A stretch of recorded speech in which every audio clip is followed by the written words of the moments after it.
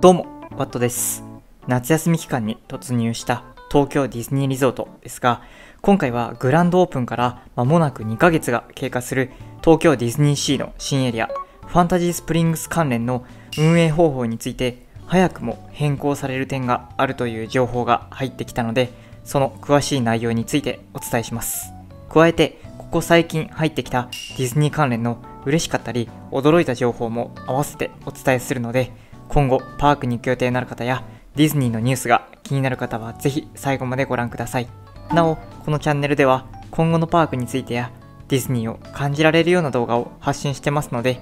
チャンネル登録をしてこれからも見ていただけると嬉しいです。また、新たなチャンネルを立ち上げまして、こちらではディズニーのアトラクション、ショーパレ、パークの景色をメインにアップしているチャンネルですので、よりパークを感じたい方は登録お願いします。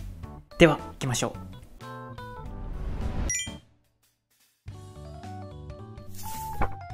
この動画でお話しする内容はこちら。ファンタジースプリングス関連の運営変更点。MCU。ディズニーハロウィン2024の注意点。いつものように動画をトピックごとに分けてますので、よかったらご活用ください。ちなみに3つ目のトピックについては先日の生配信でお話しした内容と被る部分があるのですがより分かりやすくまとめたものですので今後の参考にしていただけたらと思いますでは1つ目ファンタジースプリングス関連の運営変更点ファンタジースプリングス関連の情報で一体どこの何についての運営方法が変更されるのかというとパーク一体型でファンタジースプリングスのエリア直結で出入りができるファンタジースプリングスホテルについてです。泊まってみたいなと思っている方や、すでに宿泊することが決まっている方もいらっしゃるかと思いますが、このホテル内にある施設について大きく2点、運営方法についての変更がありますのでお伝えします。1、グランパラディラウンジについて。ホテルに入ってすぐ目に入る大きな窓が特徴的な宿泊者が利用できるロビーラウンジ。ファンタジーシャトーとグランドシャトーの間に位置しており、どちらに泊まっている方でも使えます。そんなラウンジをスムーズに利用するために優先案内、予約、プライオリティシーティングがあるのですが、2025年1月6日月曜日からプライオリティシーティング、予約ができなくなることがつい先日発表されました。まだ先の話に思えますが、この動画投稿時点で2024年11月末や間もなく12月の予約が始まるので、1ヶ月ちょい先にはもう気にしないといけない話です。では、2025年1月6日以降を、どのように利用できるのかというと、直接店舗までお越しください、とのことです。予約なしですんなり入れるのか、どこかのタイミングで列を形成したりするのか、定かではありませんが、果たしてどのような対応になるのか気になります。2、ラ・リベリュールの利用方法について。ファンタジースプリングスホテルの中でも最上級のお部屋があるグランドシャトー。そこの宿泊者しか利用することができないレストラン、ラ・リベリュールの利用について運営変更点が2つあります。それはチェックイン日の朝食利用不可、チェックアウト日の夕食利用不可です。ですので、到着した日に手続きの前後で朝食をとったり、チェックアウトしてからリベリュールで優雅に食事ということが今はできるのですが、今後できなくなります。この対応も先ほど同様、2025年1月6日月曜日からですので、2025年1月以降の予約を考えている方は、計画を立てる際、このあたりには十分ご注意ください。利用枠が限定されたことによって、もしかしたら今後予約が取りやすくなるかもしれませんね。では2つ目、MCU。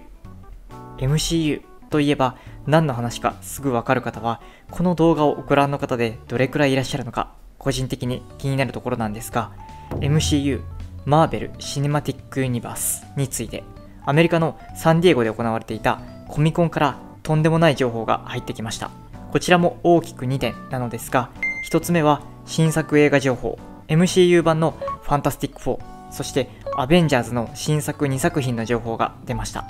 どれも本当に今後楽しみなんですが、一番驚かされたのはもう一つのニュース。アベンジャーズ・ドゥームズデイに敵として登場するであろうドクター・ドゥームズ役になったハリウッド俳優は、なんと MCU の顔と言ってもいい作品、アイアンマンで主人公トニー・スタークを演じたロバート・ダウニー・ジュニアであることが分かりました。知った瞬間叫んでしまうほど衝撃だったんですが作品としてどのように仕上がるのか。アイアンマン俳優を新キャラに抜擢した意図は？とかいろいろ考えてしまうのですが総じてとても楽しみです。アベンジャーズ・ドゥームズデイは2026年5月 US 劇場公開です。またファンタスティック4は2025年7月25日 US 劇場公開。アベンジャーズ・シークレット・ウォーズは2027年5月 US 劇場公開です。では3つ目ディズニーハロウィン2024の注意点。ついに発表されたディズニーハロウィン2024の情報。楽しみにしていた方も多いと思います。ここではハロウィンの中身については扱いませんがイベント期間フードスーベニア発売日グッズ発売日が今年のハロウィンはかなりばらけているため情報を整理してお伝えしようと思います。今年のディズニーハロウィンは2024年10月1日火曜日から11月7日木曜日ですがそれよりも早くから始まるものがあるので始まる日付が早い順で紹介していきます。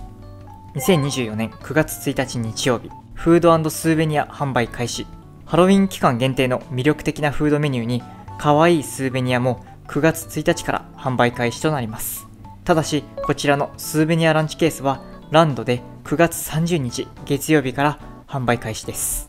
2024年9月19日木曜日からハロウィングッズ丸1発売。これらのお化け系デザインのグッズや装飾系のアイテムが販売開始です。ですが、このタイミングではまだ発売されないグッズがありますのでご注意ください。2024年9月30日月曜日からハロウィングッズ丸2発売。仮装スタート。おそらくスニーク。東京ディズニーランド新規ハロウィンパレードのデザインが入ったグッズがランドとアプリにて販売開始です。そしてこの日から全身仮装も可能になりハロウィン期間は前日全身仮装可能です。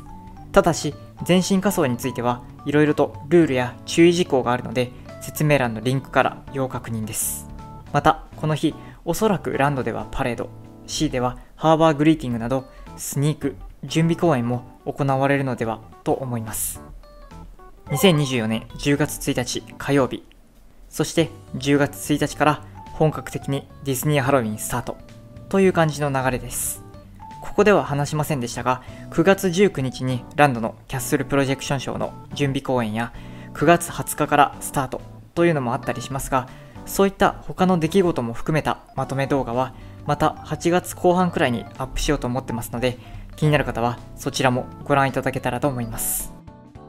ということで今回は2024年7月末に入ってきた最新のディズニー関連ニュースをお伝えしましたがパーク情報も映画情報もこれから楽しみなことがいろいろありそうですしその途中で1つ目のようにどんどん変化していくこともあるので何かあれば都度チャンネルで皆さんにお伝えしていきますので、今後もパークに行く計画を立てる段階、行く直前などで情報収集に使っていただけたらなと思います。そして私がパークに行った時の雰囲気だったり写真はインスタグラムの方でアップしておりますし、速報レベルの最新情報については X を主に使っていて、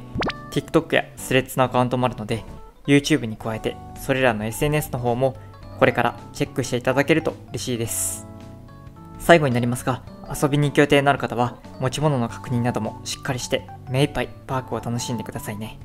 夏の暑さ対策は必須ですので私が個人的におすすめしたいアイテムは説明欄にあるのでご活用くださいこの動画が少しでも参考になりそうだと思っていただけたらグッドボタンやチャンネル登録下の方からぜひお願いします。最後までご視聴ありがとうございました。ではまた次の動画でお会いしましょう。バイバイ。